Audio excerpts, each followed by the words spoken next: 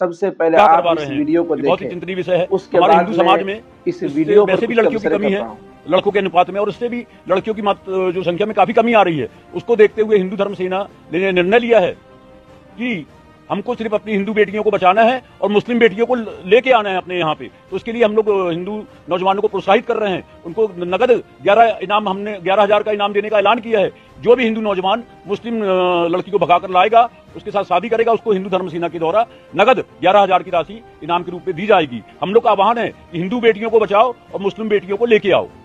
नया विवाह को भगाना क्या गैर कानूनी नाजरीन कराम आप हजरात ने ये वीडियो बगौर समात किया होगा। अब मैं इस पर कुछ तबसरे कर रहा हूँ, समात कीजिए। आप मेरी बात को भी आखिर तक सुने।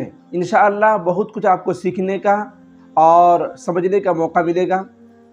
देखिए नाजरीन, इस वीडियो में ये कहा गया है, कोई भी हिंदू लड़का अगर किसी मुस्लिम लड़की को भगा के लाता है और वो उससे मैरिज कर लेता है तो उसे ग्यारह हज़ार रुपये दिया जाएगा।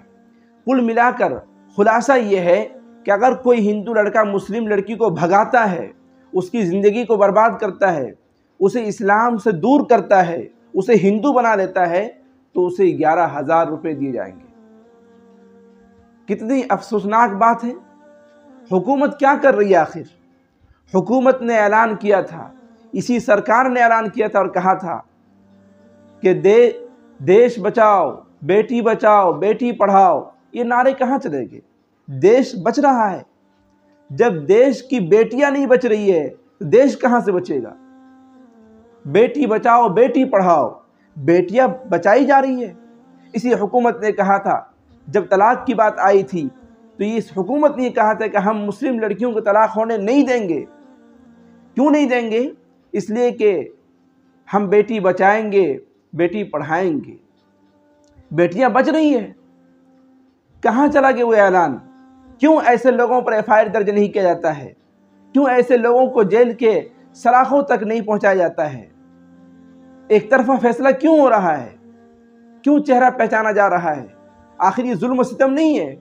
ये क्या हो रहा है? ये कौन सी नंगी नाच हो रही है? हुकूमत क्या सोच रही है अपने आप को? इन्ना बस शरबी के लशदीद।